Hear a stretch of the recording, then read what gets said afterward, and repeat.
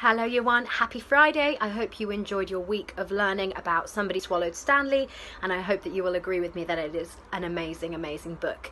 Um, I hope you enjoyed making your kites yesterday if you were able to do so, and I hope you also had a chance to go out and fly them. So I'm excited to see how you got on with those. Now, today's English task, I would like you to write me a set of instructions. Now, I've given you a checklist, and I want you to make sure you include all the things in your checklist. So we have got a title, we have got an introduction to what it is you are making, we need a list of things you will need, a list of equipment, we need a numbered method we need some bossy verbs like cut, put, tape, and we need some diagrams, okay? So try and include all those things in your instructions.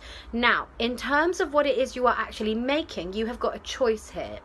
You can do some sort of junk modelling made from recycled materials, and I've given you a website to have a look at to get some inspiration. Or you could do the art activity that Miss Henley has set you, which is some somewhat similar.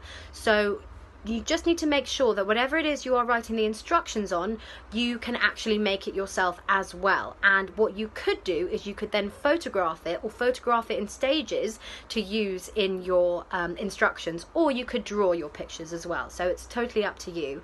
Um, good luck. I'm excited to see what you get up to and have a lovely weekend.